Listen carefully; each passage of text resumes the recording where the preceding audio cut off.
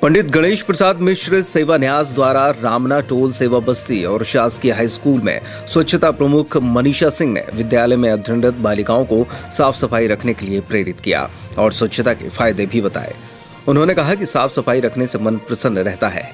काम करने में मन लगता है। जहाँ साफ़ सफ़ाई होती है, वहाँ ईश्वर का वास होता है। इस दौरान छात्राओं को सैनिटरी पैड का वितरण किया गया।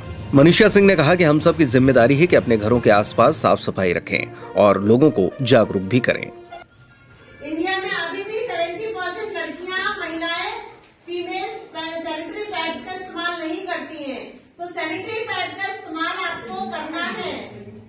सैनिटरी पैड का आपको इस्तेमाल करना है और ये इसको क्यों करना है क्योंकि हम क्या रहे साफ़ सुथरे रहे अब जब हम सैनिटरी पैड का इस्तेमाल नहीं करते तो कपड़ा गीला होता है गीला होता तो हमें नहीं पता बदले तो सैनिटरी पैड हो चाहे कपड़ा हो।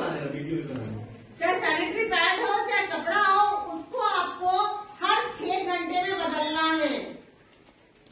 अपना गुप्ता जहाँ से हमको पीरियड्स होते हैं जहाँ से महीना होता है वहाँ पर हमको सूखा रखना है।